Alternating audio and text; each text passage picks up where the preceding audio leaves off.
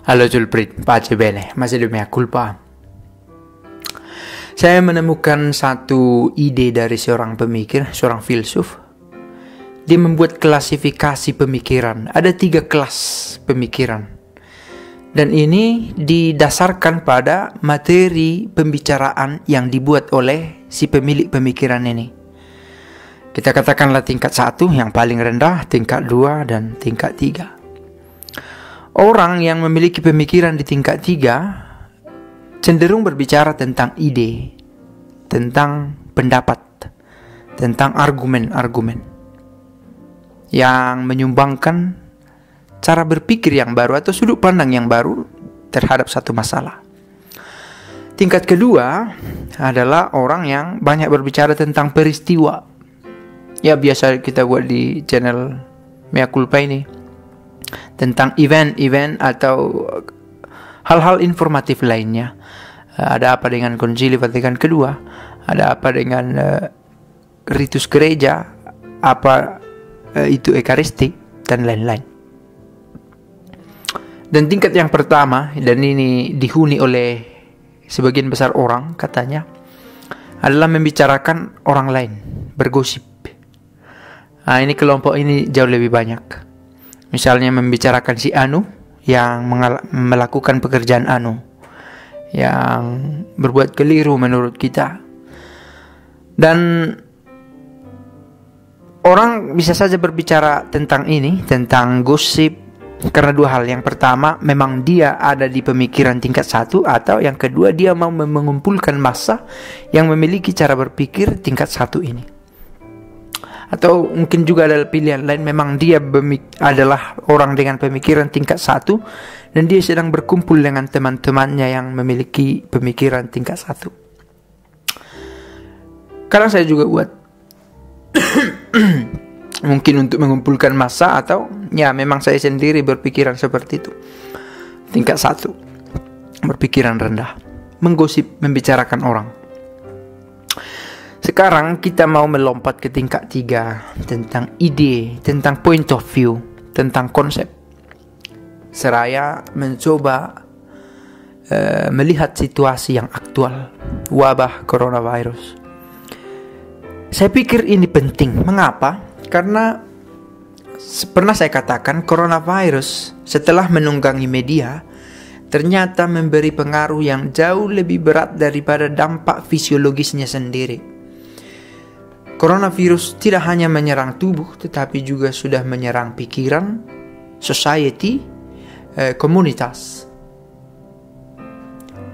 Eh, bahkan ketika coronavirus belum menjangkau tempat yang dimaksud, tempat tertentu secara geografis dan uh, biologis belum sampai virusnya menyentuh ke orang, tapi sudah ada paranoia, paranous, pikiran lewat pikiran sudah ada serangan yang dimunculkan oleh coronavirus. Ketakutan. Dan itu real ya. Saya menemukan orang yang memiliki kecemasan tentang itu. Saya menemukan satu video yang berbicara tentang mencoba bahagia di tengah wabah coronavirus. Coronavirus itu uh, dalam dirinya membawa petaka karena kita tidak menginginkan sakit dan kita pun tidak selalu bisa menghindar dari penyakit ini. Ya, kita punya usaha dan inisiatif sendiri untuk terhindar dari wabah ini, tetapi toh usaha kita tidaklah cukup. Kita memerlukan orang sekular akan berpikir tentang luck, keberuntungan, tetapi orang religius akan berpikir tentang penyelenggaraan ilahi, providensia divina pertolongan Tuhan. Begitu istilah yang lebih religius. Nah dalam hal ini seraya menunggu pertolongan dan seraya kita memberi membuat inisiatif untuk meningkatkan kemungkinan bahwa kita tidak kena coronavirus. Baik juga kita berpikir tentang apa blessing in disguise di belakang peristiwa ini. Apa rahmat terselubung? Uh, orang bisa menjadi lebih reflektif harapannya begitu. Saya pernah dengar orang menurut penelitian orang-orang Amerika Serikat pasca teror ke WTC dan Pentagon orang-orang Amerika Serikat menjadi lebih religius, lebih percaya kepada Tuhan. Sebuah riset mengatakan begitu. Apakah coronavirus akan membuat kita lebih beriman?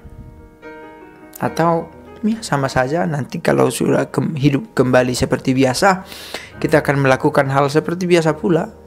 Yang ateis tetap ateis, yang beriman tetap beriman, yang seolah-olah beriman padahal tidak, tetap seolah-olah beriman padahal tidak.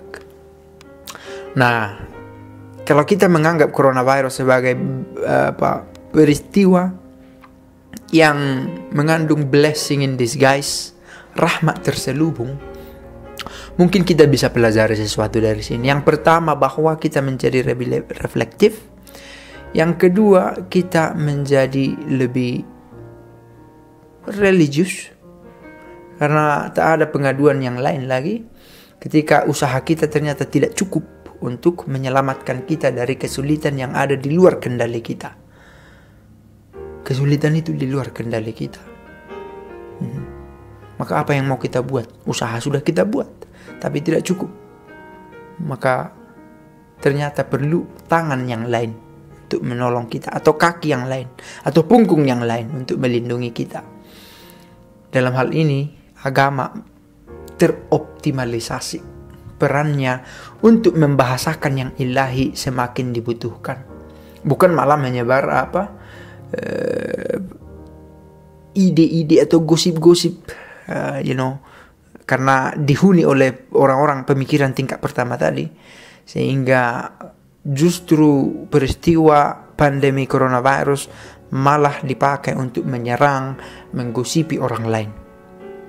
Ya, itu senjata kimia si anu ini azab untuk si anu ini perbuatan orang-orang suku anu sehingga tidak akan ada kemajuan.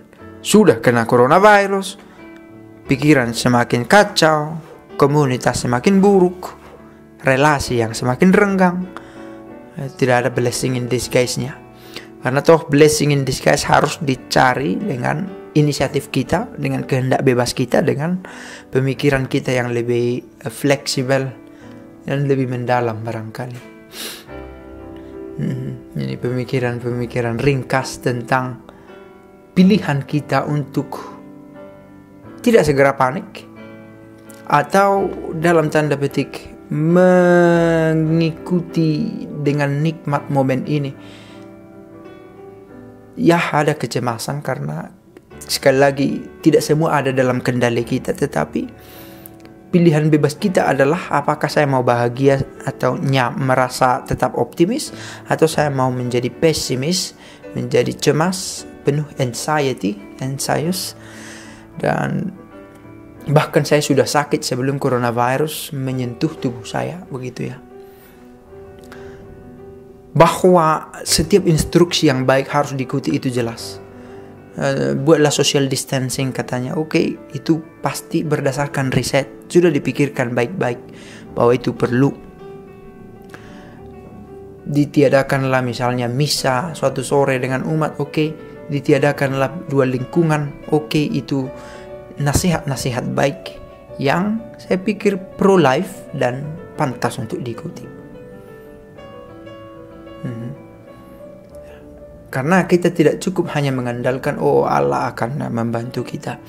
Dalam teologi kontekstual dibicarakan itu, kalau ada peristiwa alam, jangan cepat-cepat mengembalikannya kepada Allah.